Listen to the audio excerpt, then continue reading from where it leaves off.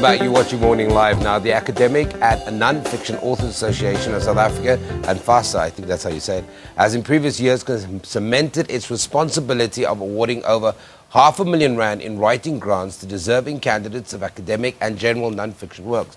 This is through their annual ANFASA grant scheme for authors initiative, so in celebration of their 10th year, can you believe it? The scheme announced and awarded the 2016 recipients of the grants. To tell us more about this, we are joined in studio by Kia Bopalamo. She is one of the 24 authors that won, and Monica Seeber, who is the founder of ANFASA. Ladies, thank you very much for joining me. Thank you. Thank you. Good morning. Monica, let's maybe join, let's start the conversation with you before we bring Kia into this conversation. Give us a little bit of a background history 10 years ago a lot of our, our viewers for the first time this morning will hear about ANFASA. Mm-hmm. Mm. Well, ANFASA was actually formed um, 12 years ago, and we started the grants. It's a teenager now. yes, yes. Um, and the idea behind the formation of ANFASA was really to protect the rights of authors. Um, ANFASA is a rights based organization. But as time went on, we expanded our activities and we expanded our reach.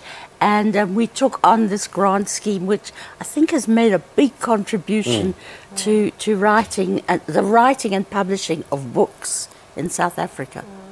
Let me bring Kian because you, mm. you mentioned something, that big difference. When you're one of the 24 authors that have won, how does that change the trajectory of your writing and your life as an author? Uh, uh, well, um, the difficulty for, for me personally, and I, I, suppose for many authors, is that you start writing with the hope that one day somebody will read the book. But um, you tend to lose hope halfway through the process because writing is quite a process. And um, with ANFASA coming in to say, hey, we're here to support you, and we'll also link you up with anybody in the publishing and the book industry that you need to speak to so that your book can actually come to life. Mm. That, that for me was, was um, the, the, the, push that I needed in the right direction. And um, although in my particular case, my book was halfway done by the time I, I got a hold of ANFASA, um, as we stand right now, I am only a few pages from publication. Oh, cool. And even with that, they have um, actually been so amazing in providing all sorts of support to make sure that publication does take place. So, yeah. That's fantastic. Talk to me about identifying the 24 recipients that have, uh, that have mm. won the 2016, uh, okay. 2016 scheme. I'll do that. Every year we call for applications around about June of every year. Um, and we advertise the awards quite widely. Um, and it's all on our website, so uh, people interested should have a look at our website. And um, then uh, applications come in on forms, and uh, we, the closing date is at the end of no, uh, October, uh, end of October. Then we set up a selection panel, mm. and we go through all the applications we receive. I think this year we've received over 150. Over what was it about Kia that stood out for you?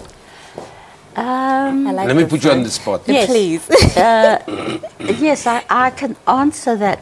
You know, a lot of the people who get awards are first time authors. Mm. A lot are not, but we're particularly interested in the first time authors. And the scheme has two sides. One is producing books, of course, because that's what we want to be. The other is encouraging people to write. And uh, Kia's enthusiasm for producing a book was um, something that we really wanted to support. Um, she mm-hmm. hadn't written a book before, mm-hmm. and we loved her subject about, you know, about appearances and about uh, the about appearance as part of a person. Mm. You know, it was just um, a lovely subject. it leapt at us off the page. Talk to me very quickly about about your book that's coming out. My book is um, titled "What I Wore."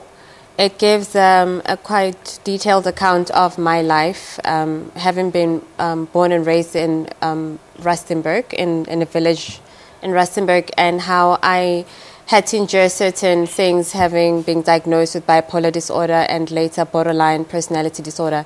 It's written from a perspective of a young woman in a village setting, and the primary purpose of writing the book was to tell people of my story. Mm and as well dispel some of the pre-existing myths or notions that you find in, in particular, my community, which say that um, mental illness is because you have been bewitched Yeah. or um, there's something wrong with you when there's actually treatment out there. So I wanted to just put it in perspective to say, here I am, I am that person, but I am actually on this and this treatment, and this is how you also get help.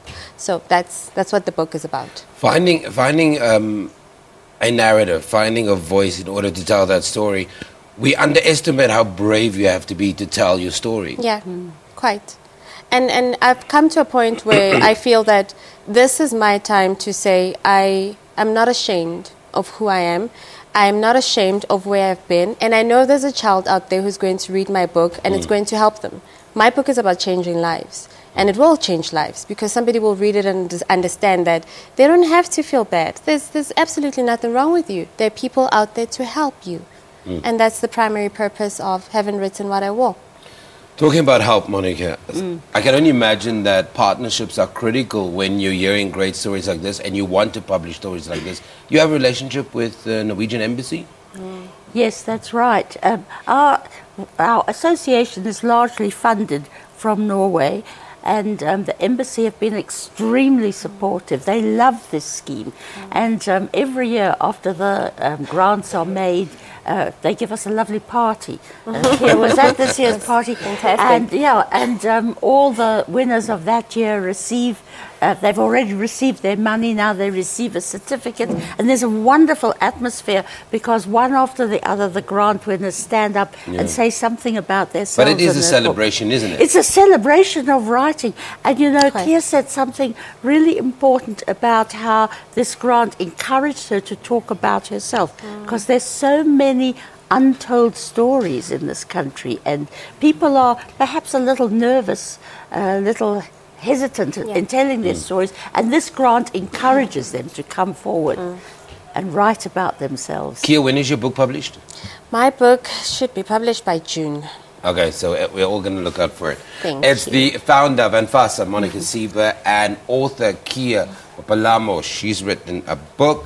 It comes out in June. If you want to find out more about the organization, just Google the details. It's anfasa.org and all the information about the authors, the things that's happening there, the 2016 recipients you'll find on the website. We take an ad break. Don't go anywhere.